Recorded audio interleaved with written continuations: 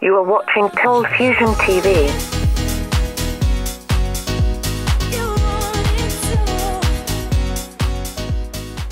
Hi, welcome to another Cold Fusion video. In my last video, a few of you pointed out that it was going to be the Chevy Bolt that could be the first mass-produced electric car that wasn't underpowered, not the Tesla Model 3. And you guys were right, I'd actually mistaken the Chevy Bolt for another car which is a hybrid called the Chevy Volt. So I ruled it out. We don't have Chevrolet over here in Australia. We have Holden instead, which makes completely different cars. So sorry about that, I actually mixed things up. Now with that out of the way, I just wanted to set the record straight. The point of this video is to update my analysis on the advent of electric cars for the masses. With Chevrolet getting involved, everything changes.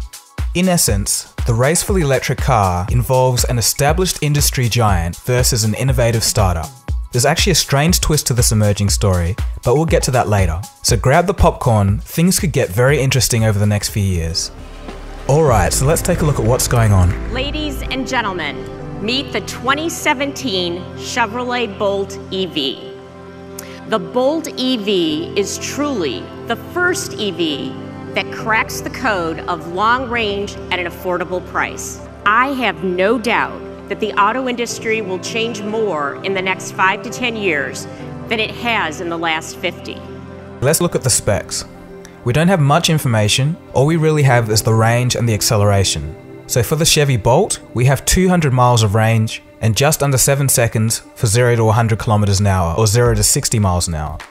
And for the Tesla Model 3, we have 215 miles of range and just under 6 seconds to accelerate from 0 to 100 kilometers an hour. It seems like the Bolt has the jump on the Model 3 for production. Chevy said that the Bolt will go into production late this year, so retail availability might be 2017. Production for the Model 3 is much harder to call. Tesla promises production in late 2017, but there's already been huge demand with over 270,000 pre-orders. So the question is, can they deliver? Both companies have established significantly different brand reputations. Tesla, with the Model S and Model X, is seen as a luxury car maker, but they had to do this in order to get to the mass market phase.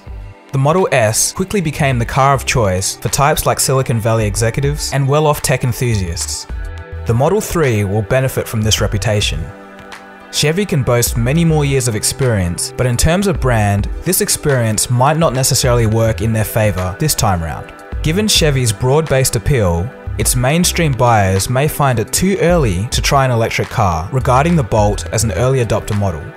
Of what I've heard and what I can gather, most people expect Chevy cars to be affordable and not fancy. That seems to be their brand image. The big decider is price, and there's been a bit of confusion here because most people think that the Bolt is actually cheaper than the Model 3, but it's actually the other way around when you take into account government incentives. While the Bolt will be $30,000 with tax incentives factored in, according to Motor Trend, the retail price will be $37,000. Musk has repeatedly said that the Model 3 will be priced at $35,000 before incentives, and with incentives ranging from $7,500 to $13,000 depending on which US state, the price for the Model 3 could be as low as $22,000 in some US states. This is a US centered view though. We don't have any information on how much it will cost in other countries, and frankly, who knows?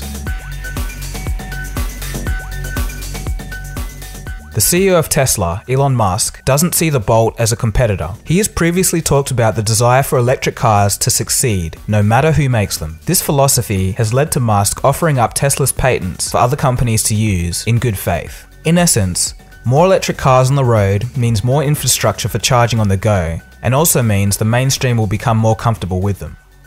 If the Bolt gains mass market acceptance, this actually helps the Model 3.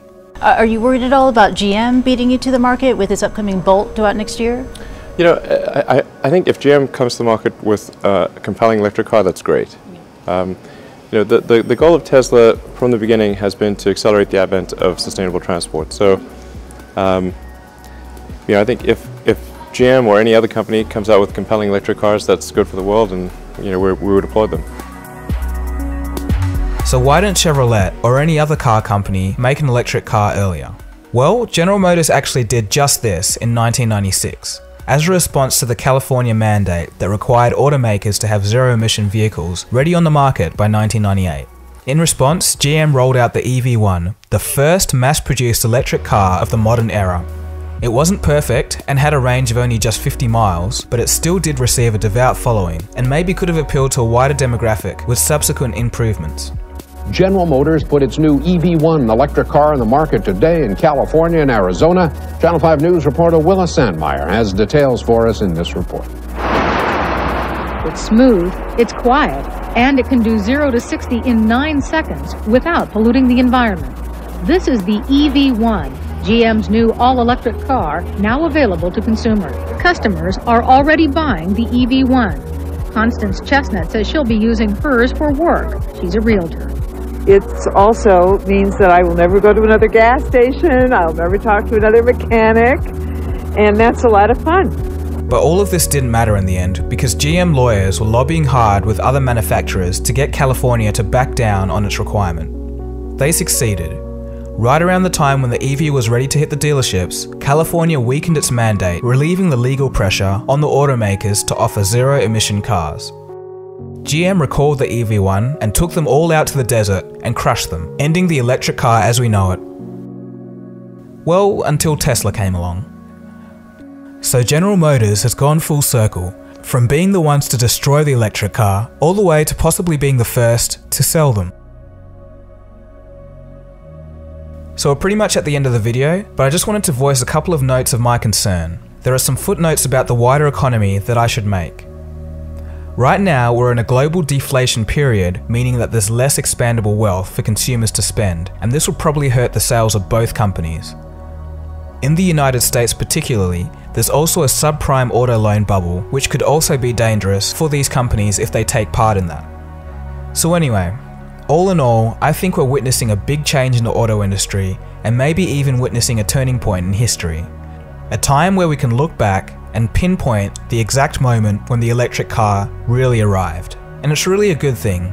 Carbon monoxide, which is released from general auto vehicles, is very poisonous and even lethal at high concentrations. So if you're in a city, having tens of thousands of cars outputting this chemical day after day all around you can't be good for your health or the environment. So it's a good idea to mitigate such things where we can. Anyway, that's the end of the video. Thanks for watching. I just thought I'd update my views and set the record straight. It's going to be an interesting competition between these two cars, and we'll see what happens in the future. Don't forget to give this video a thumbs up if you liked it, and subscribe. This has been Dagogo, you've been watching Cold Fusion, and I'll see you again soon for the next video, which could possibly be a documentary on Google's DeepMind. We'll see how I go. Cheers guys, have a good one. Cold Fusion. It's new thinking.